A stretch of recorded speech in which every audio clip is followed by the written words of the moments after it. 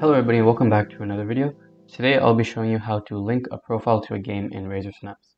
So basically what this allows you to do is make your uh, profiles in Razer Synapse automatically change whenever you open up a specific game or uh, software. So currently I'm on this profile called A and if I go to profiles, which is the fourth tab on the top, I can link it to a specific game. So right now I'm on A.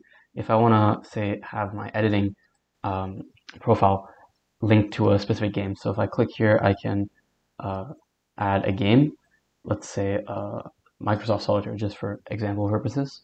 I can also go here and add a specific game from my files, either from this list or by clicking browse and then pasting in the file location.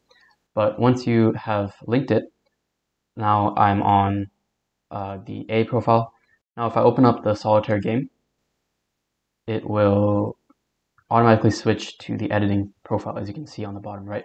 Now when I X out of it, you can see it went back to A. This is a very useful way to quickly switch profiles when you open up a specific game. Say you have a certain key binding that you want to use for uh, a game. Whenever you open that game, it will automatically switch so you don't have to do it uh, every time. Uh, and if you want to remove a profile, you just go back and click X.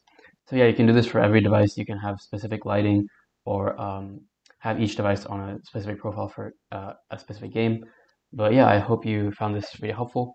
Uh, if you did, please like and subscribe. And thank you for watching, and I'll see you in the next video.